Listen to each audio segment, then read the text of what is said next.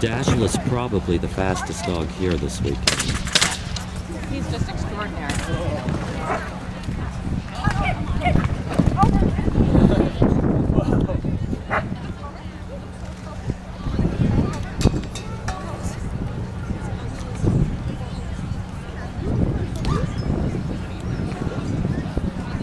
Can not?